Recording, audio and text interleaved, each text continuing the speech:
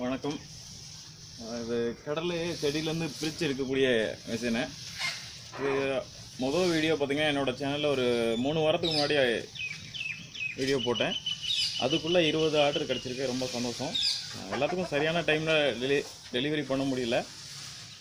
இனிமேல் ஆர்டர் பண்ணுறவங்க ஒரு நாலஞ்சு நாளுக்கு முன்னாடியே அட்வான்ஸாக சொல்லி புக் பண்ணுங்கள் முடிஞ்ச அளவுக்கு சீக்கிரமாக ரெடி பண்ணி தரேன்.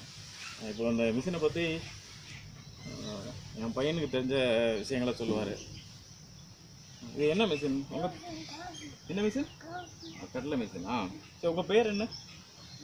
ஃப்ரிட்ஜோவா சரி சரி இது எப்படி ஆன் பண்ண ஆ சரி இது அது பூச்சி போயிட்டு போகுது. சரி இது எப்படி ஆன் பண்ணுறது ஓ ஆன் ஆயிடுச்சா? ஓடிட்டு இருக்குல்ல இப்போ. கடலை எங்கிட்டு கொடுக்குறது? இங்கேயா? எங்கே கொடுக்கணும்? இங்கேயே கொடுக்கணுமா சரி சரி. கடலில் எங்கிட்ட வந்து விழுகும். அங்கிட்டா? எங்கிட்ட காமிங்க எங்கிட்ட விழுகும்? அந்த பக்கமா? சரி சரி. இது என்னது? என்ன மோட்டார் கரண்ட் மோட்டாரா இது என்ன? பெல்ட்டா இது? வலை. எதுக்காக வலை வச்சிருக்கோம்? அங்கிட்டு போய் விழுகிறதுக்காவா? சரி இந்த உள்ள ஓடிட்டு இருக்குல்ல. அது என்ன கலரு ப்ரௌன் கலரா எதுக்காக ப்ரௌன் கலர் பயன்படுத்தியிருக்கோம்? துரு பிடிக்காம இருக்கிறக்கா சரி சரி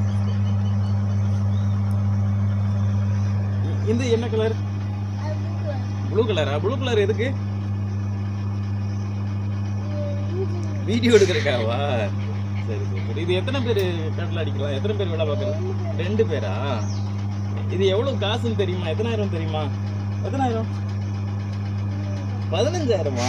சரி சரி சரி. இந்த காசை வச்சு நீங்கள் என்ன பண்ணுறீங்க கார் வாங்க போகிறீங்களா சரி சரி. இது ஆஃப் பண்ணிடலாமா? எப்போ எப்படி ஆஃப் பண்ணுறது